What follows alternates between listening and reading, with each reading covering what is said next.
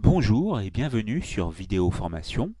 Dans ce tutoriel de bureautique sur le logiciel de tableur Microsoft Excel 2007, je vais vous montrer dans un premier temps comment supprimer un lien hypertexte, puis dans un deuxième temps comment le rétablir. Placez-vous à l'endroit où figure le lien hypertexte,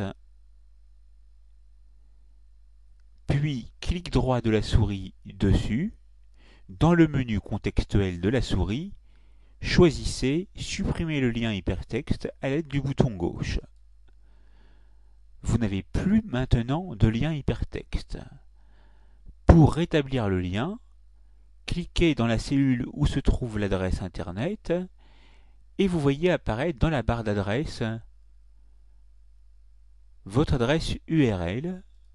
Il vous suffit de vous mettre à la fin et de voir le curseur clignoter. Et pour rétablir le lien, cliquez sur la touche Entrée.